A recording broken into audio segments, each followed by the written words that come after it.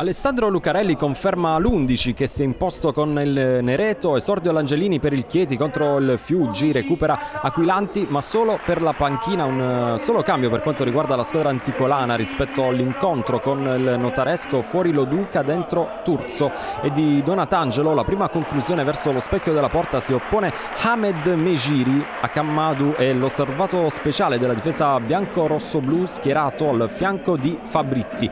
La risposta del Fiuggi Fiuggi schierato da Romondini secondo i canoni di un 4-3-3 con Ficara e Potenza e Fall nel reparto avanzato ma è un Chieti attento in difesa propositivo dalla cintola in su che fa incetta di calci d'angolo. Qui lo schema che coinvolge Mariani e Pietrantonio con quest'ultimo che sfiora il bersaglio.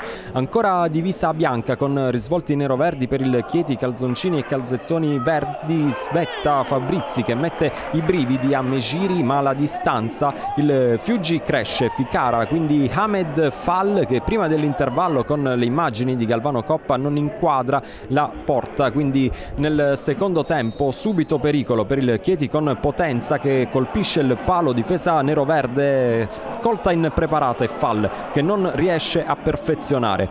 Ancora Fall, altra chance per l'Atletico Terme Fiuggi sul quale si oppone come può Lorenzo Fusco, pressione del Fiuggi, Chieti che prova a resistere. Ancora ancora Potenza vicino al gol del vantaggio che è secondo tempo per la squadra di Fabrizio Romondini. Ma il Chieti prova ad alleggerire con il piazzato ad opera di Pietrantonio pallone che non si abbassa a sufficienza. Entra Baldain luogo di Fabrizi subito nel vivo del gioco. Qui corre un rischio la difesa del Fiuggi. Esce Akammadu per infortunio. Non si tratta però di nulla di grave sostituito a scopo precauzionale da Lucarelli. In campo c'è Rodia Fase favorevole al Chieti nel segmento centrale di ripresa ancora Baldea, caccia del gol ma regge la difesa laziale, arriva però il gol dell'1-0 dell'Atletico Terme Fiuggi decisiva la deviazione sul tentativo di Gallinari, l'esultanza dei giocatori bianco-rosso-blu.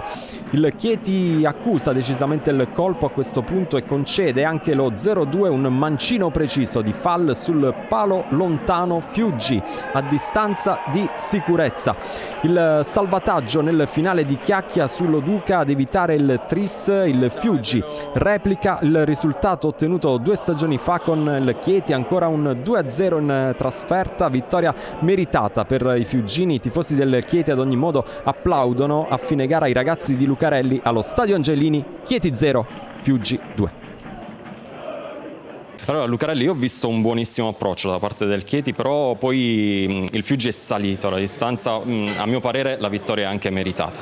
Sì penso di sì, come detto sono saliti alla distanza, gli ultimi 30-35 minuti noi siamo usciti un po' fuori dalla partita, fino a quel momento avevamo fatto una buona partita equilibrata, eh, potevano segnare entrambe le squadre, dopodiché c'è stata un'inerzia verso il Fiuggi che ha meritato la vittoria al di là dei meriti del Fiuggi, eh, possiamo definirlo un passo indietro questo del Chieti o comunque ci sono delle cose buone che lei ha visto nel corso di questa partita?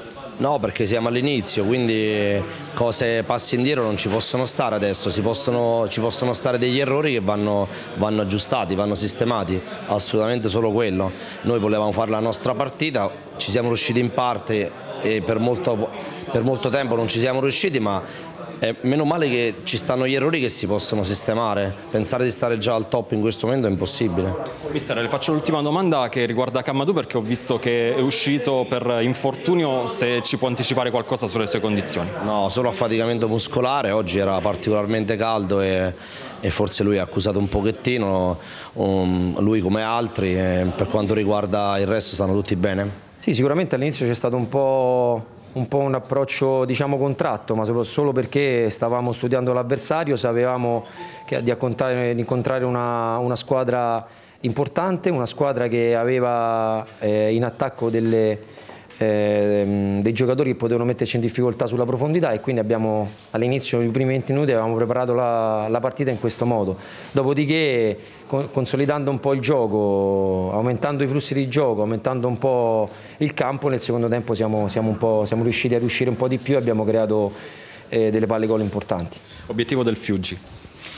L'obiettivo del Fiuggi è, è stare nell'alta classifica, abbiamo dei giocatori importanti, non ci nascondiamo però alla base di tutto c'è la qualità del singolo ma soprattutto c'è un'unione di squadra, si vede in tutto, in tutto, quello che facciamo, quando esce un compagno, quando facciamo gol, questi sono segnali importanti che danno comunque morale e fiducia a tutto l'ambiente, poi eh, quando si esprime un calcio, un calcio, bello, un calcio pulito contro una squadra veramente ottima credo che, che sia la, la cosa migliore e la cosa più bella per un allenatore.